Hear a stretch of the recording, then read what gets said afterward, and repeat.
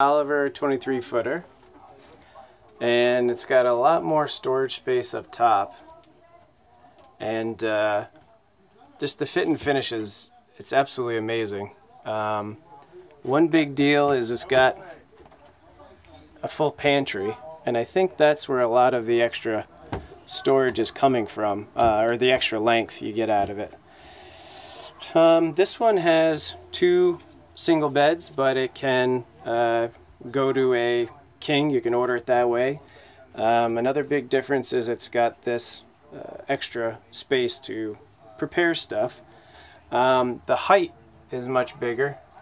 Um, let's see. Probably see that there's plenty of space over me. This closet is I guess two sets of clothes double double wide on the shelves and so that's that's nice. And taking a look at the bathroom the bathroom is about the same as the Casita's uh, wet bath but they they all put the shower curtain in so it doesn't get all wet. But it's it's got a, a little more height um, so it wouldn't matter for someone underneath five nine and a half. Um, either way they would do fine.